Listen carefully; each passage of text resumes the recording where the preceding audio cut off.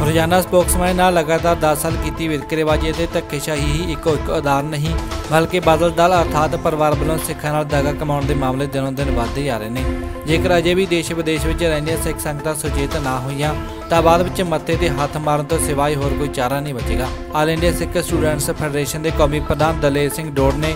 ਉਕਤ ਸ਼ਬਦਾਂ ਦਾ ਪ੍ਰਗਟਾਵਾ ਕਰਦਿਆਂ ਦਾਅਵਾ ਕੀਤਾ ਕਿ ਬਾਦਲ ਸਰਕਾਰ ਮੌਕੇ ਪ੍ਰਿੰਸੀਪਲ ਸਕੱਤਰ ਰਹੇ ਦਰਬਾਰਾ ਸਿੰਘ ਗੁਰੂ ਉੱਪਰ 4 ਸਾਲ 1986 ਵਿੱਚ ਗੁਰੂ ਗ੍ਰੰਥ ਸਾਹਿਬ ਦੀ ਹੋਈ ਬੇਅਦਬੀ ਦੇ ਰੋਸ ਵਿੱਚ all India Sikh students federation ਦੇ ਕਾਫਲੇ ਉੱਪਰ ਗੋਲੀ ਚਲਾ ਕੇ ਚਾਰ ਸਿੱਖ ਨੌਜਵਾਨਾਂ ਨੂੰ ਸ਼ਹੀਦ ਕਰਨ ਦਾ ਦੋਸ਼ ਵੱਖ-ਵੱਖ ਸਿੱਖ ਇਤਿਹਾਸਕਾਰਾਂ, ਵਿਦਵਾਨਾਂ ਅਤੇ ਮੌਕੇ ਦੇ ਗਵਾਹਾਂ ਵੱਲੋਂ ਦੁਹਰਾਇਆ ਜਾ ਚੁੱਕਾ ਹੈ।